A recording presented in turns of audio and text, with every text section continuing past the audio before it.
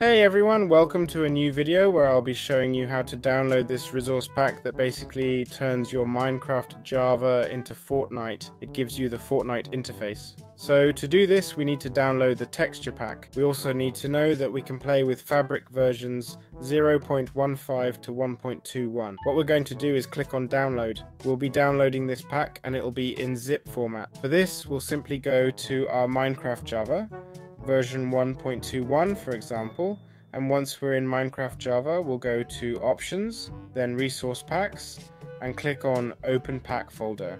We're going to copy this folder okay? Now in the downloads we'll go to download copy this output and hit save. Now what we'll do is basically wait and as you can see we have the Fortnite Java for 1.21 here.